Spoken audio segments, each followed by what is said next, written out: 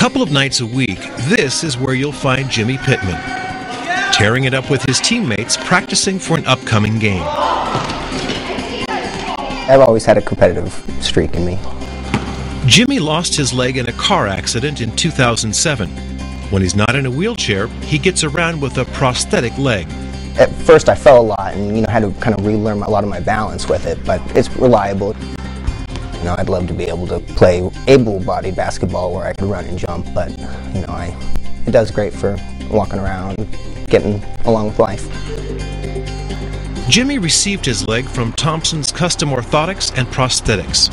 Our goal was to get him up, get him functional and back doing his normal daily living. Over the years, Jimmy's been through several legs and countless fittings and adjustments, with Henry and the staff behind the scenes paying attention to every detail.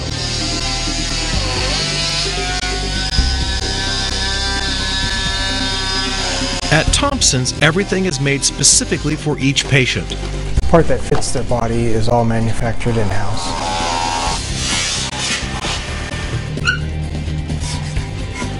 Over the years, technology has improved. Prosthetic limbs fit better, they are more comfortable, and can be worn longer. What hasn't changed is the commitment to the patient. It takes somebody that's in their deepest despair and say, time out, we're going to walk you through the steps to get, to get you back as close to normal as we can.